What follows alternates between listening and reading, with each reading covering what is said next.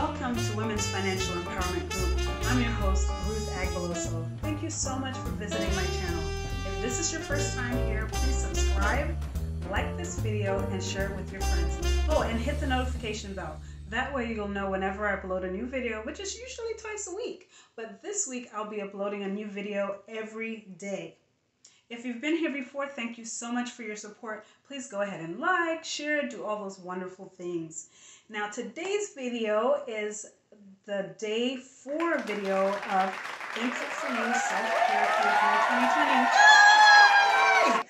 I am so excited. Oh my gosh, I'm seeing all the self-care posts and it's just revving up my engines here. Thank you so much for posting and using the hashtag and just sharing with your friends. It's been a wonderful ride so far, and I hope that you continue to work on your self care as we go on. We only have a few more days left, and remember, on the seventh day at midnight, I will announce the winner of the grand prize worth over $400. If you haven't had a chance to register for the campaign yet, it is not too late to register. A lot of people did not get the notification in time to go ahead and start on Sunday. So go ahead and click on the link in the description so that you can register and it will be a great way to support our sponsors. After you register, there will be a follow-up email. Please go ahead and click into that email and follow the instructions. It's really important. So check your spam because unfortunately sometimes that's where it ends up. So I'm looking forward to seeing you post and encourage others. So let's get into this video. Today's video is about self-care as it relates to physical activity. So I just wanted to share with you some quick tips on how you can incorporate physical activity into your daily routine without spending a lot of money. Well, most people talk about going to the gym, and with COVID, it's been a little bit tricky for a lot of us to get out and go to the gym. So, what can you do if you can't go to the gym? There are tons of online workouts that you can take part in. There's, of course, yoga and kickboxing and just your regular workouts. There's so many of that.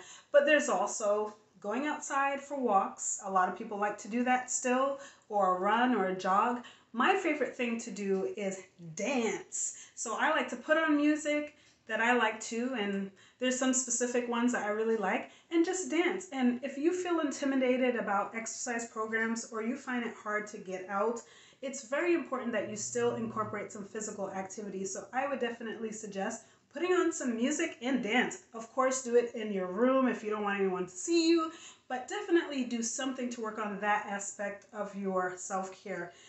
I hope you found this short, short video to be helpful. Um, please stay to the end of this video so that you can see some bonus footage.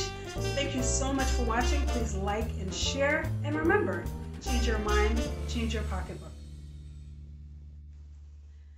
So for self-care for me, I like to prioritize things that are very easy because self-care cannot be difficult or I'm not going to do it. So I like tea. I like um, actually taking showers more than once a week.